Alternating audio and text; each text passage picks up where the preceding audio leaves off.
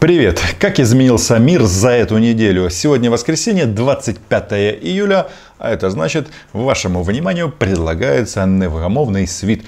Этот э, продукт, это видео, эту рубрику я делаю не сам, как обычно, а с моим очень важным для меня и, главное, квалифицированным редактором. Обязательно как-нибудь вас познакомлю. Подписывайтесь на канал, как всегда. А, называем вещи своими именами. Начинаем. В пятницу министры энергетики Большой Двадцатки встречались в Неаполе. К сожалению, не очень плодотворно.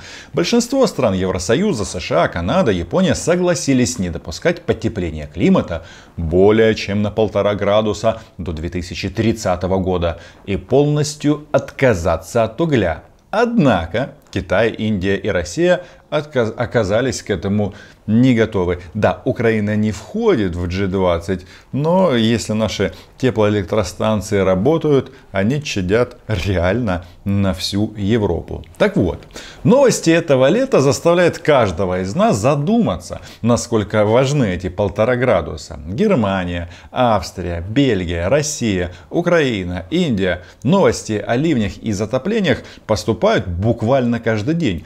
Убытки исчисляются миллионами, а может уже и миллиардами долларов. Человеческие жизни сотнями. По данным Всемирной метеорологической ассоциации, наводнения вышли на первое место по человеческим жертвам и экономическим убыткам среди всех природных катастроф.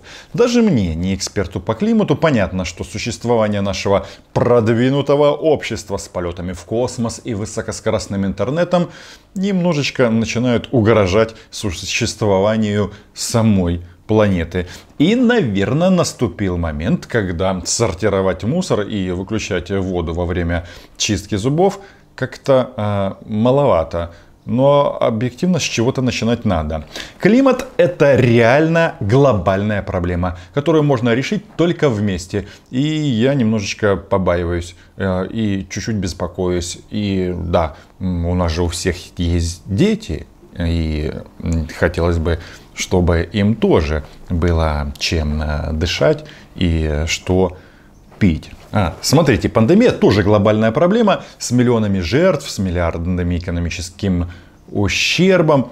Причем ее последствия, последствия пандемии, в отличие от глобального потепления, видны прямо здесь и сейчас. И если вопросы создания и доступности вакцины предметы политических спекуляций, то очевидно судьба климатической безопасности, где катастрофа разворачивается гораздо медленнее, будет гораздо печальней. Каждый шаг здесь будет предметом торговли и, боюсь, много решений будут приняты по принципу «после нас хоть» потоп. Везде этот пресловутый человеческий фактор и разница менталитетов. И лучше всего это характеризует реакция российских спортсменов на Олимпийскую деревню в Токио. Японская философия аскетизма и экономия ресурсов пришлась не по вкусу спортсменам из газонефтяной империи. И картонные кровати не в почете там, где показателем успеха до сих пор остается золотой унитаз и гипсовые вензеля. А ведь есть еще регионы, где и вовсе не до жиру. Афганистан, Мали, сектор газа, там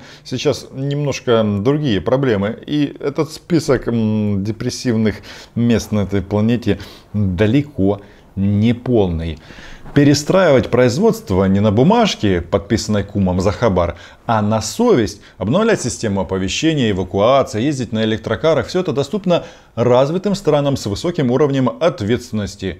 Ответственности прежде всего. И э, таких у нас, к сожалению, не так много. Из хорошего мы на пути.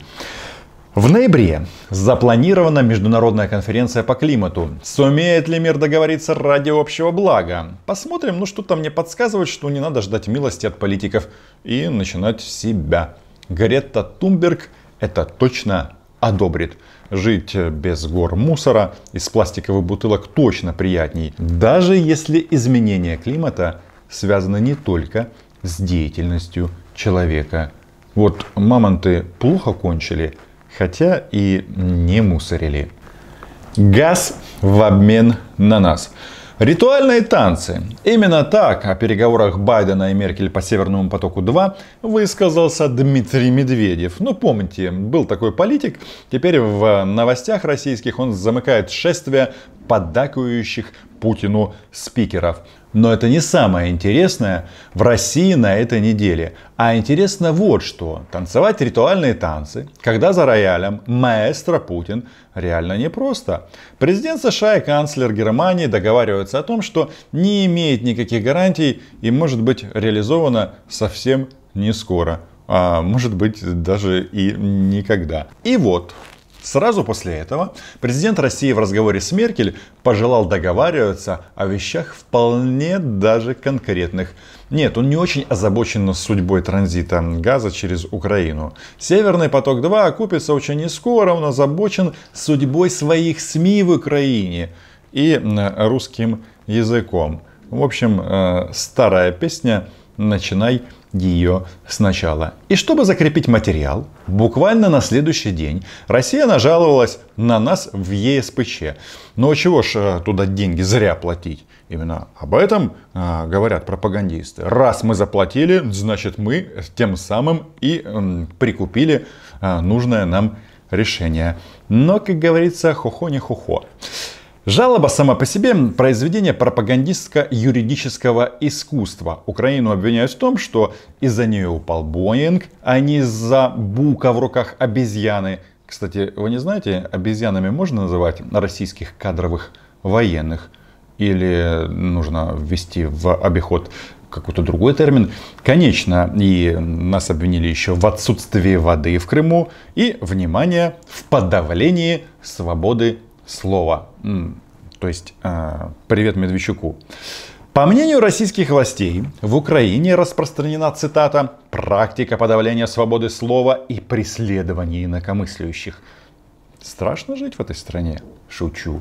И это практически одновременно с тем, как Евросоюз осудил репрессии против СМИ в самой России, где каждый день пополняется список иностранных агентов, ну и, конечно же, арестантов, как мило, когда медведь жалуется в суд. Зачем все это, спросите вы? Исходя из последних семи лет, Россия понимает, что присоединить Украину военным путем довольно накладно. Гораздо эффективней промывать мозги населению, покупать политиков и, как итог, сменить президента. Это такая золотая мечта Путина.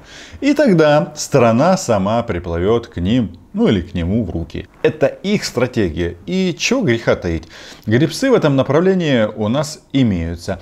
Украина, конечно, может перестать барахтаться между экономикой, войной, требованиями Евросоюза по реформам и сдаться вернув Медведчуку право вести пропаганду, согласиться на гражданскую войну и поехать в Крым по загранпаспорту на поклон к царю.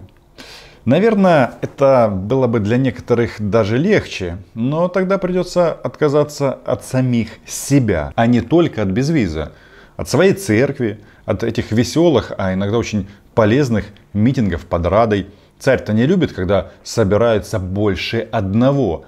Это российские реалии. А самое главное, придется что-то объяснять людям, особенно тем, кто смотрел на хм, братский народ через прицел. Боюсь, а, нет, уверен, что такой номер в Украине уже не прокатит. Нет другого пути, только идти вперед, развивать экономику, укреплять позиции, чтобы впереди никакой северный поток 2, 3, 4, 5, 10 не обсуждался без украинского участия, чтобы никогда впредь не выступать пирогом на столе сильных мира сего. Лукашенко и ведьмы. А может быть одна. Нет, у них там целый набор. Просто некоторые гастролируют, а некоторые уже сидят. Так вот, в Папуа-Новой Гвинее в последнее время началась охота на ведьм. В прямом смысле, людей пытают и убивают лишь по слову местного знахаря. Корона повредила мозги. К чему я это? Очень похоже на другую страну. Беларусь. Там тоже ищут ведьм по команде верховного знахаря-пахаря.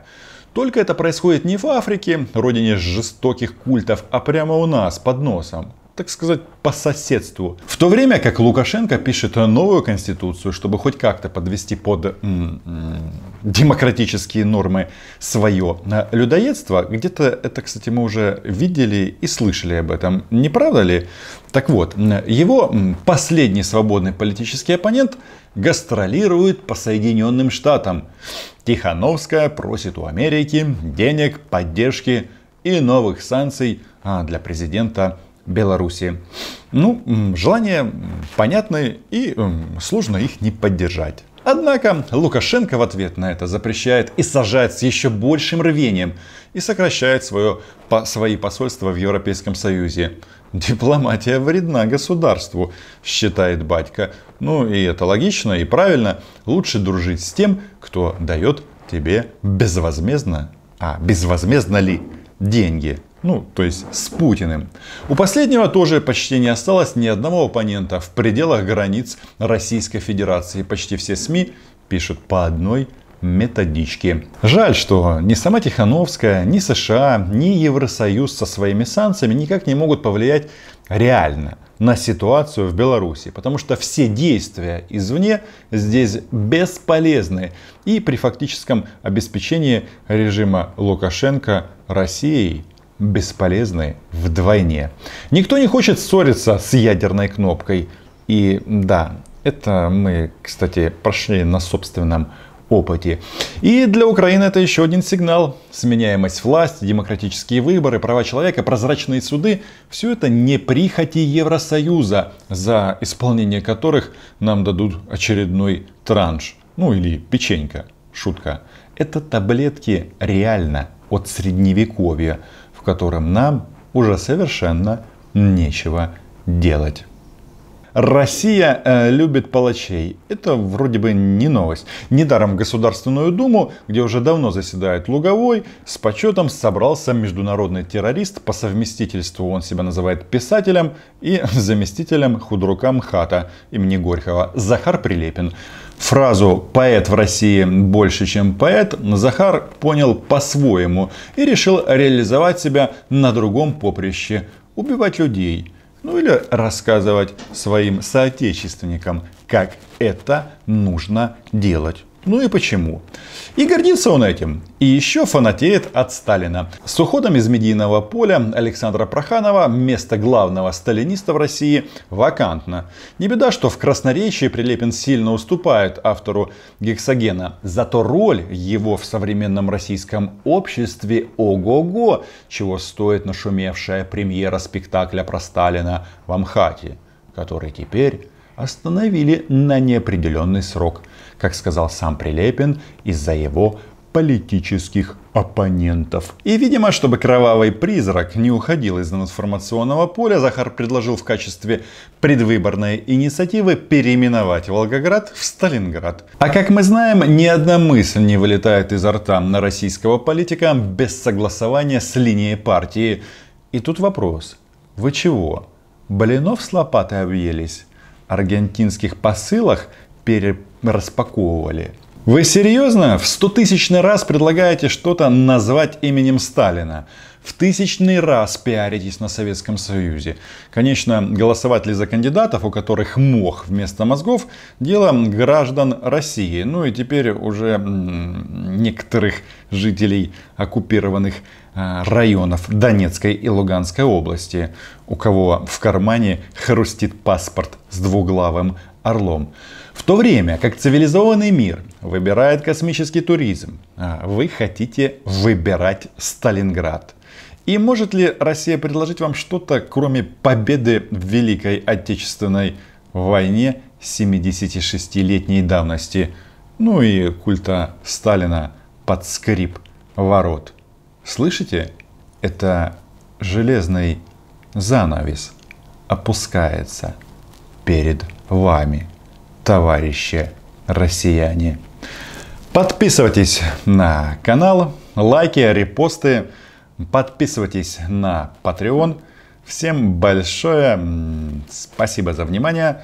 А, надеюсь услышать ваше мнение в комментариях. Вообще-то, по задумке, это будет еженедельная аналитическая программа с вашим любимым блогером Романом Цымбаляком. Чао!